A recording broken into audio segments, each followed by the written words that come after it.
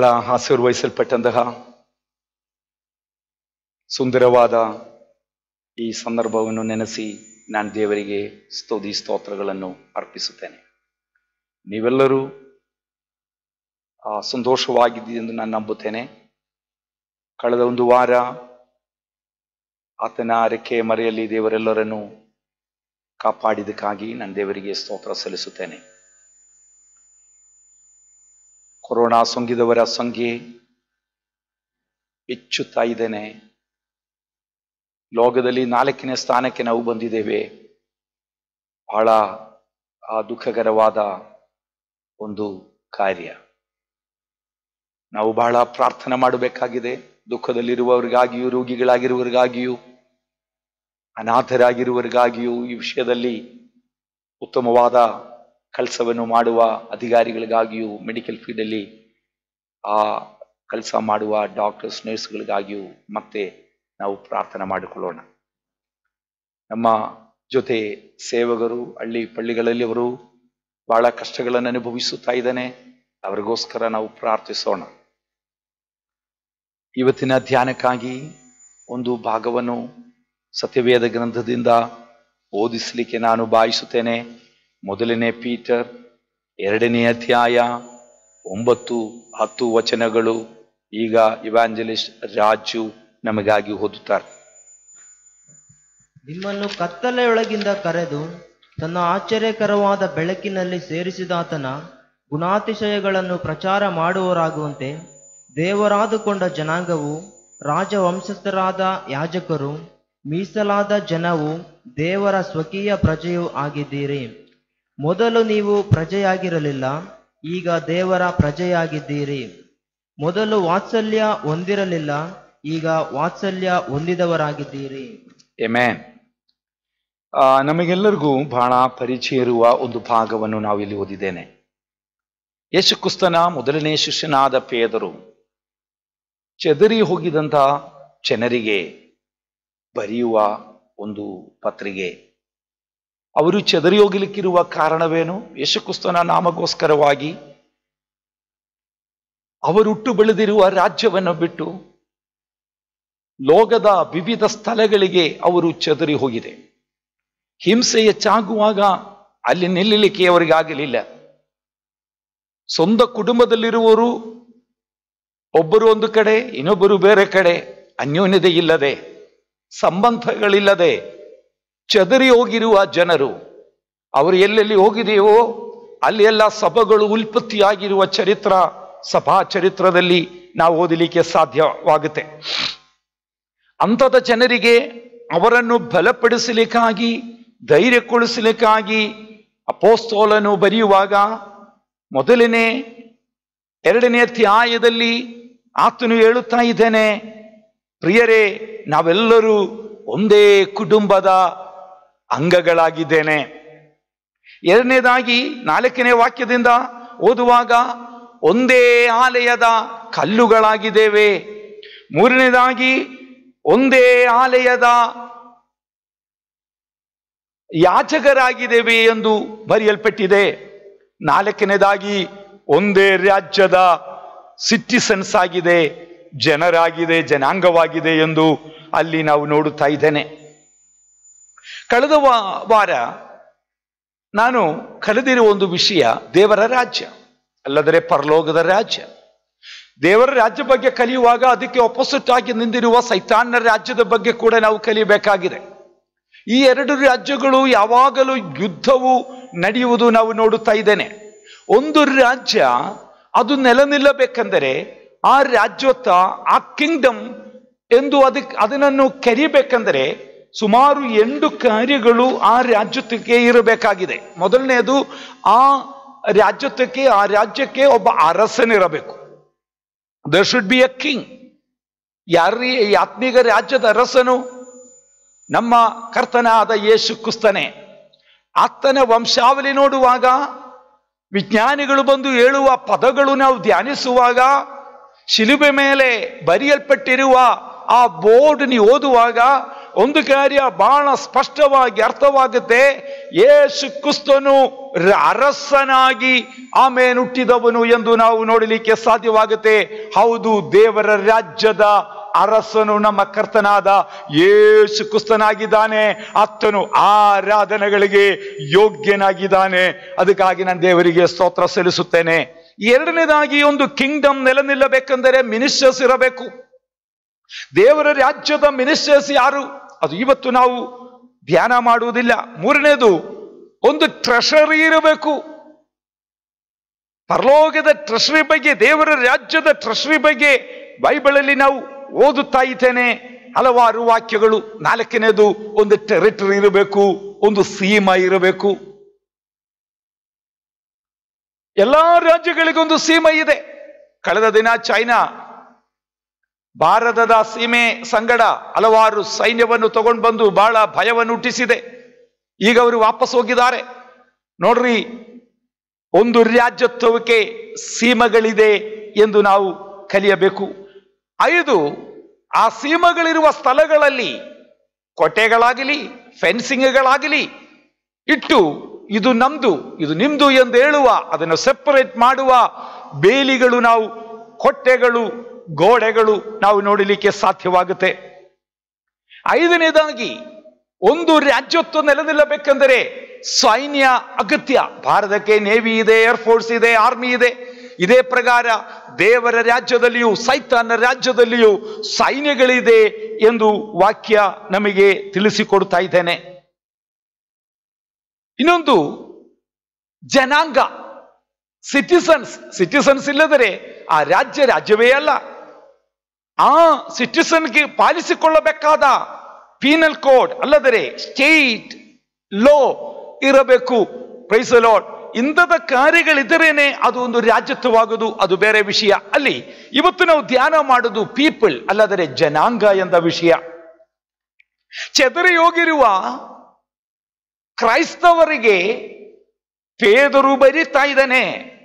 ನೀವುಗಳು ದೇವರ ಸ್ವಂತ ಜನರಾಗಿದೆ. ಅತನೇ ವಾಕ್ಯದಲ್ಲಿ ಓದುತ್ತಾ ಇದ್ದೇನೆ, ನಿಮಗೆ ಒಂದು ಹಿಂದಿನ ಚರಿತ್ರವಿದೆ, ಇತಿಹಾಸವಿದೆ. ಅದೇನಾಗಿದೆ? ಒಮ್ಮೆ ನಾವು ಜನರಾಗಿರ್ಲಿಲ್ಲ, ದೇವರ ಜನರಿಂದ ಹೆಸರುವಾಸಿ ನಮಗಿರಲಿಲ್ಲ. ನಾವು ನಂಬಿಕೆ ಇಲ್ಲದವರಾಗಿತ್ತು, ನಾವು ಕತ್ತಲೆಯಲ್ಲಿತ್ತು, ನಾವು ಆ ವಾತ್ಸಲ್ಯ, ಕರುಣೆ ಇಲ್ಲದವರಾಗಿತ್ತು. ಆದರೆ ಈಗ ನಮಗೊಂದು ಪೊಸಿಷನ್ ದೇವರು ಕೊಟ್ಟಿದ್ದಾನೆ. ಅದು ಪೀಪಲ್ ಆಫ್ ಗಾಡ್ ದೇವರ ಜನಾಂಗ ಎಂದ ಆ ಪದವಿ ದೇವರು ಕೊಟ್ಟಿದ್ದಕ್ಕಾಗಿ ನಾನು ದೇವರಿಗೆ ಸ್ತೋತ್ರ ಸಲ್ಲಿಸುತ್ತೇನೆ. ಎಷ್ಟು ಜನರಿಗೆ ಆ ಪದವಿ ಸಿಕ್ಕಿದೆ, ಅವರಿಗಾಗಿ ನಾನು ದೇವರಿಗೆ ಸ್ತೋತ್ರ ಸಲ್ಲಿಸುತ್ತೇನೆ. ಇಲ್ಲದವರು ಇವತ್ತು ದೇವರ ಕಡೆಗೆ ತಿರುಗಿರಿ, ದೇವರ ಜನರಾಗಲಿಕ್ಕೆ ದೇವರು ನಿಮಗೆ ಕೃಪೆ ನೀಡಲಿ.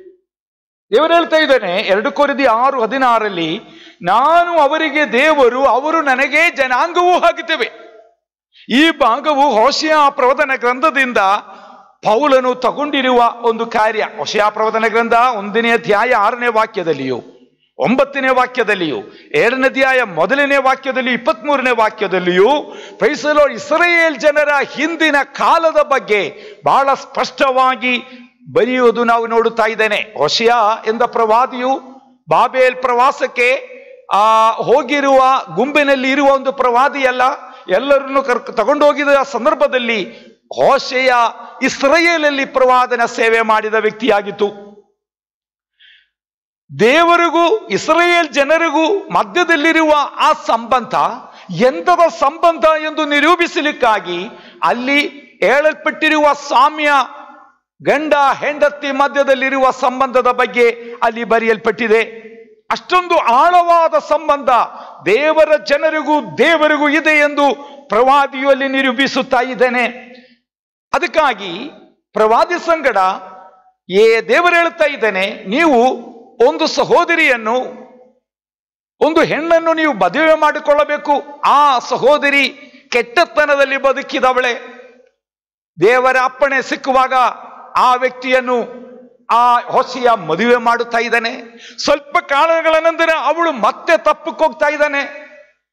ಓ, ಅದನಂತರ ದೇವರು ಹೊಸೆಯ ಕೇಳ್ತಾ ಇದ್ದಾನೆ, ನೀವು ಅವಳ ಹಿಂದೆ ಹೋಗ್ರಿ, ಅವಳನ್ನು ಮತ್ತೆ ನಿಮ್ಮ ಹೆಂಡತಿಯಾಗಿ ಕರ್ಕೊಂಡು ಬನ್ರಿ.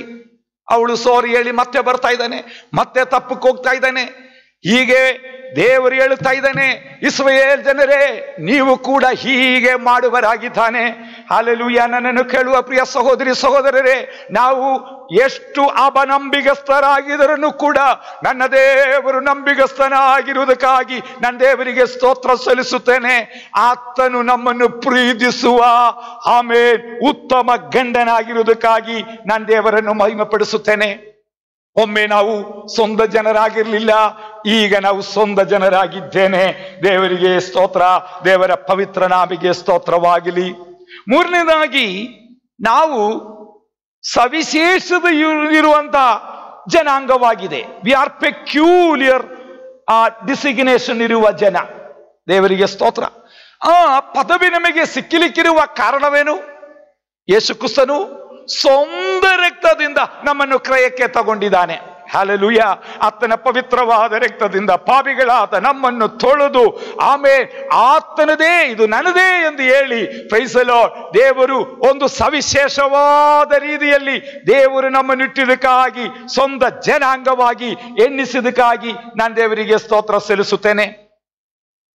ನೋಡಿ, ಹೇಗೆ ಆತನು ಈ ಕಾರ್ಯ ಮಾಡಿದೆ? ಹಳೆ ಒಡಂಬಡಿಕೆಯಲ್ಲಿ ಆ ದ ಡೇ ಆಫ್ ಅಟಾನ್ಮೆಂಟ್ ಅಂತ ಒಂದು ಕಾರ್ಯವಿದೆ.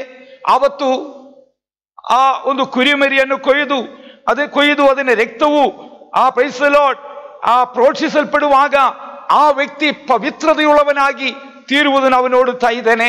ಹೀಗೆ ಯೇಸು ಕ್ರಿಸ್ತನ ಪವಿತ್ರವಾದ ರಕ್ತದಿಂದ ಪವಿತ್ರೀಕರಿಸಲ್ಪಟ್ಟ ಪವಿತ್ರ ಇರುವ ಸ್ವಂತ ಜನರಾಗಿ ದೇವರು ನಮ್ಮನ್ನು ಇಟ್ಕೊಂಡಿದ್ದಕ್ಕಾಗಿ ನಾನು ದೇವರಿಗೆ ಸ್ತೋತ್ರ ಸಲ್ಲಿಸುತ್ತಾ ಇದ್ದೇನೆ. ದೇವರಿಗೆ ಸ್ತೋತ್ರ. ಆಮೇಲೆ ನಾ ಇದರಿಗೂ ನಮಗೂ ವ್ಯತ್ಯಾಸವಿದೆ ಪ್ರಿಯರೇ. ನಾವು ದೇವರ ಸ್ವಂತ ಜನರಾಗಿದ್ದಾನೆ. ಆ ಪದವಿಕ್ಕನುಸಾರವಾಗಿ ಒಂದು ಪವಿತ್ರ ಜೀವನ ನಡೆಸಲಿಕ್ಕೆ ಈ ತೀರ್ಮಾನಗಳಲ್ಲಿ ಎಷ್ಟು ಜನರೊಂದು ತೀರ್ಮಾನ ತಗೊಳ್ತೀರಾ? ಕೊನೆಯದಾಗಿ ನಾವು ಹೇಳುವಾಗ ಇಬ್ಬರಿಗರಿಗೆ ಬರೆದ ಪತ್ರಿಕೆ ನಾಲ್ಕನೇ ಅಧ್ಯಾಯ ಒಂಬತ್ತನೇ ವಾಕ್ಯದಲ್ಲಿ ಆ ವಾಕ್ಯ ಓದಿ ಈ ಸಂದೇಶವನ್ನು ಮುಕ್ತಾಯ ಮಾಡಲಿಕ್ಕೆ ನಾನು ಭಾವಿಸುತ್ತೇನೆ. ನಾಲ್ಕು ಒಂಬತ್ತು. ಆದುದರಿಂದ ದೇವರ ಜನರು. ಅನುಭವಿಸ ಅನುಭವಿಸುವುದಕ್ಕಿರುವ ಸಬ್ಬತ್ತೆಂಬ ವಿಶ್ರಾಂತಿಯು ಇನ್ನೂ ಉಂಟು. ಇನ್ನೂ ಉಂಡು ಪ್ರೈಸಲ್ ಎಷ್ಟು ಜನರು ನಂಬುತ್ತಾ ಇದ್ದೇನೆ. ಕೊರೋನಾ ಇಲ್ಲದ ಮರಣ ಇಲ್ಲದ ಟೆನ್ಷನ್ ಇಲ್ಲದ ಪಾಪ, ಆಮೇಲೆ ಆಕರ್ಷಣ ಮಾಡದಿರುವ ಒಂದು ವಿಶ್ರಾಂತಿ ನನಗೋಸ್ಕರ, ನಿಮಗೋಸ್ಕರ ದೇವರು ಇಟ್ಟಿದ್ದಾನೆ. ನಿತ್ಯವಾದ ರಾಜ್ಯಕ್ಕೆ ದೇವರು ನಮ್ಮನ್ನು ಕರ್ಕೊಂಡು ಹೋಗಲಿಕ್ಕೆ ಬರ್ತಾ ಇದ್ದಾನೆ.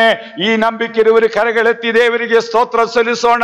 ಖಂಡಿತವಾಗಿ ಈ ಪ್ರಾಮಿಸಿ ವಾಗ್ದಾನಗಳು ದೇವರು ನಮಗೆ ಕೊಟ್ಟಿದ್ದಕ್ಕಾಗಿ ನಾನು ದೇವರಿಗೆ ಸ್ತೋತ್ರ ಸಲ್ಲಿಸುತ್ತೇನೆ. ನನ್ನ ವಿಷಯ ನಾವು ಸೆಪರೇಟ್ ಜನಾಂಗವಾಗಿದೆ. ನಾವು ದೇವರ ಸ್ವಂತ ಜನಾಂಗವಾಗಿದೆ. ಆತನ ರಕ್ತದಿಂದ ಕ್ರಯಕ್ಕೆ ತಗೊಳ್ಪಟ್ಟವರಾಗಿದ್ದಾನೆ. ಆಮೇಲೆ ಆ ಪದವಿಯು ನೆಲೆ ನಿಲ್ಲಿಸಲಿಕ್ಕೆ ಈ ದಿನಮಾನಗಳಲ್ಲಿ ದೇವರು ನಮಗೆ ಸಹಾಯ ಮಾಡಲಿ. ಚದರಿ ಹೋಗಿರುವರಾಗಿರಬಹುದು ನಾವು. ಆಮೇಲೆ ಅನ್ಯೋನ್ಯತೆ ಈಗ ಸಿಗ್ತಾ ಇಲ್ಲ. ಆದರೆ ನಾವು ಕ್ರಿಸ್ತನಲ್ಲಿ ಒಂದಾಗಿದೆ. ಒಂದೇ ರಾಜ್ಯದ ಪ್ರಜೆಗಳಾಗಿದೆ. ಈ ಮಾತುಗಳ ಮೂಲಕ ದೇವರು ನಮ್ಮನ್ನು ಅನುಗ್ರಹಿಸಲಿ. ಪ್ರಾರ್ಥಿಸೋಣ. ನಮ್ಮನ್ನು ಬಹಳವಾಗಿ ಪ್ರೀತಿಸುವ ಪರಲೋಕದ ತಂದೆ. ನನ್ನ ವಾಕ್ಯಗಳನ್ನು ಈ ಆನ್ಲೈನ್ ಮುಖಾಂತರ ಕೇಳುವ ಪ್ರತಿಯೊಂದು ಜನರನ್ನು ಯೇಸು ಕ್ರಿಸ್ತನ ನಾಮದಲ್ಲಿ ನಾನು ಅನುಗ್ರಹಿಸಿ ಪ್ರಾರ್ಥಿಸುತ್ತೇನೆ. ಆರ್ಥಿಕವಾಗಿ ಸಮಸ್ಯೆಗಳಿಲ್ಲಾದ ಹೋಗುವ ರೋಗಿಗಳಾಗಿರುವ ಟೆನ್ಷನ್ಲಿರುವ ಅಸಮಾಧಾನದಲ್ಲಿರುವ, ಕರ್ತನೆ ವ್ಯಕ್ತಿಗಳ ಸಂಗಡ ನೀ ಮಾತನಾಡಿದಕ್ಕಾಗಿ ಸ್ತೋತ್ರ. ನೀ ಅವರನ್ನು ಸ್ವಂತ ಜನರಾಗಿ ಆರಿಸಿಕೊಂಡಿದ್ದಕ್ಕಾಗಿ ಸ್ತೋತ್ರ ಸಲ್ಲಿಸುತ್ತೇನೆ ಕರ್ತನೆ. ಹಾಲಲ್ಲಿ ಆ ಪದವಿಗೆ ಅನುಸಾರವಾಗಿ ಪವಿತ್ರವಾದ ಜೀವಿತ ನಡೆಸಲಿಕ್ಕೆ ಮತ್ತೊಂದು ಆವೃತ್ತಿ ನಮ್ಮನ್ನು ಸಮರ್ಪಿಸಿ ನಾನು ಪ್ರಾರ್ಥಿಸುತ್ತೇನೆ. ಯಾವಾಗ ಒಂದು ಕೂಡಿ ಒಂದು ಆಲಯದಲ್ಲಿ ನಿಮ್ಮನ್ನು ಮಹಿಮೆಪಡಿಸಲಿಕ್ಕೆ ನಮಗೆ ಸಾಧ್ಯವಾಗುತ್ತೆ ಎಂದು ನಮಗೆ ಅರ್ಥ ಆಗ್ತಾ ಇಲ್ಲಪ್ಪ. ಆದರೆ ನಿಮ್ಮ ಸಾನ್ನಿಧ್ಯ ನಮ್ಮ ಮೇಲಿರುವುದಕ್ಕಾಗಿ ಸ್ತೋತ್ರ. ನೀವೆಂದಿಗೂ ನಮ್ಮಲ್ಲಿ ವಾಸ ಮಾಡೋದಕ್ಕಾಗಿ ಸ್ತೋತ್ರ. ಪ್ರತಿದಿನ ನಮ್ಮನ್ನು ಕರೆಗಿಡಿದು ನಡೆಸುವುದಕ್ಕಾಗಿ ಸ್ತೋತ್ರ.